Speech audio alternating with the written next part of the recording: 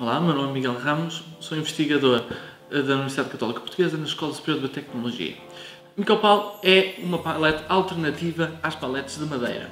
Estas mesmas paletes de madeira representam 90% do mercado mundial de paletes, que são a chave da logística mundial, não só pela sua utilização através de equipamentos, como pela sua standardização em termos de tamanho. Estas mesmas paletes têm alguns problemas, não só no seu fator ambiental, como também na sua operação.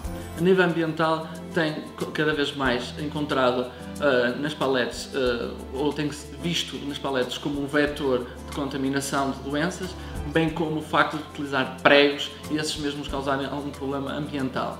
A nível da operação, não só pelo facto de serem pesadas, têm o problema de poder incorrer em acidentes de trabalho. Ora, a Micopal pretende resolver alguns desses mesmos problemas. Primeiro, não utiliza matérias-primas puras como a madeira, utiliza resíduos da área da, do setor agroindustrial. Uh, depois, tem um peso muito inferior às paletes de madeira e pretende mimetizar tanto a sua resistência como a sua durabilidade.